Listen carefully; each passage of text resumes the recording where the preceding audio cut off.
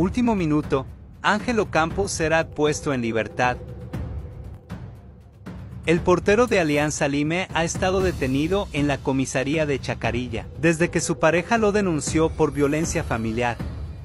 Ahora, tras la audiencia pactada para el caso, se declaró improcedente el pedido de la Fiscalía. Y Campos continuará siendo investigado, pero en libertad. ¿Qué te parece?